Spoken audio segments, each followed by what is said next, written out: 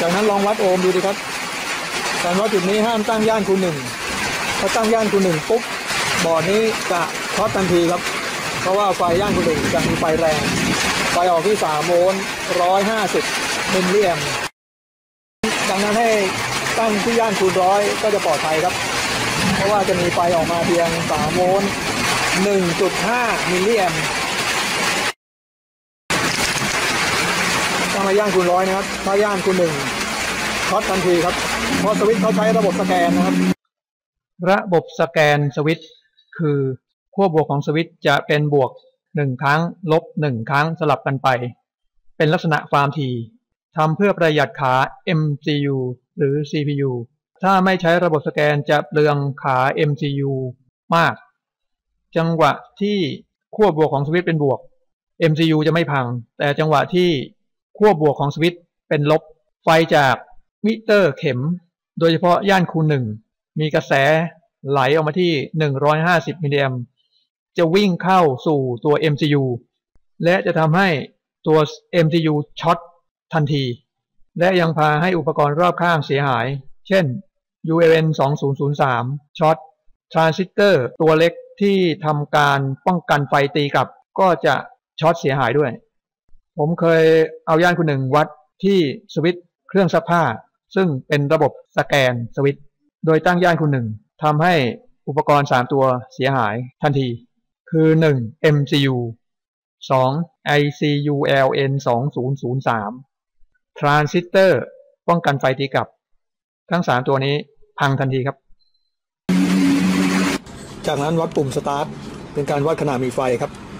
สังเกตว่าจะ ได้โอห์มที่สูงครับ สลับสายวัด สังเกตเข็มจะตีลงครับ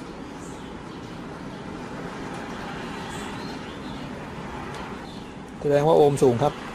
ส่วนอันนี้ปุ่ม power โอห์มต่ำครับวัดปุ่ม power อีกครั้งสลับขั้วเข็มขึ้นทั้งสองครั้งครับประมาณเลขศูนย์ซีโอห์มนะครับ ก็ประมาณศูนย์แสดงว่าปุ่ม power มีการกดสวิตช์จากตัวกล่องหยอดเหรียญดังนั้นเมื่อหยอดก็จะไม่ทำงานครับ เพราะสวิตช์นี้ถูกกดอยู่ก่อนแล้ว ถ้าใช้มิเตอร์ดิจิตอลวัดขณะมีไฟจะปลอดภัยครับ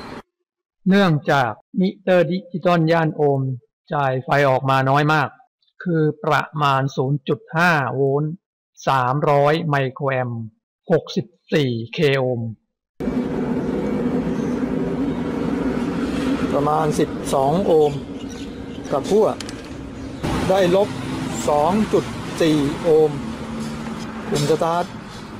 ไม่ขึ้นเลย กลับขั้วปุ่มสตาร์ทติดลบปุ่มสตาร์ทไม่ขึ้นเลย แสดงว่ากล่องหยอดเหรียญสั่งกดปุ่ม power ตลอดเวลานั่นเองจากนั้นดึงปลั๊กไฟออก ทำการวัดปุ่ม power ใหม่ ตอนนี้ไม่มีไฟแล้วนะครับ ขึ้นมามาเลข 20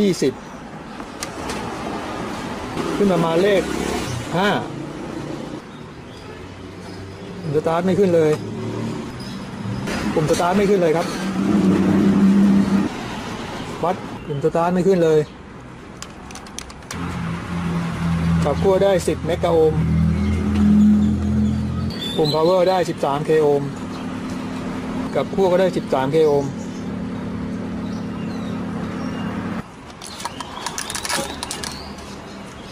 สายที่ขาวเป็นสาย power สายคู่สีเหลืองเป็นสายสตาร์ท power ก็คือคู่สีขาวมีปัญหาโอห์มต่ำทำให้เกิดการกดสวิตช์ตลอดเวลาดึงออก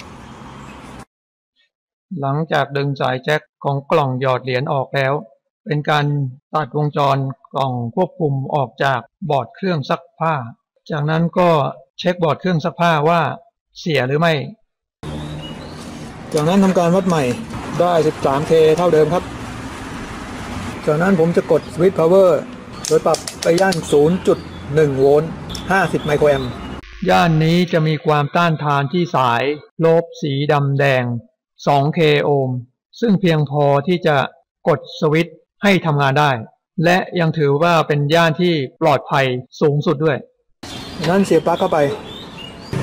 เปรียบเหมือนเป็นการวัดย่าน 0.1 โวลต์นั่นเองกดทีๆก็จะติดครับกดทีๆก็จะดับกลับขั้วก็กดได้ แต่เข็มจะตีลงครับ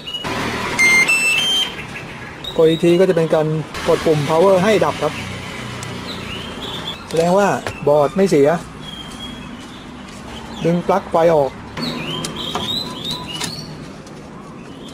ดึงสายหม้อแปลงออก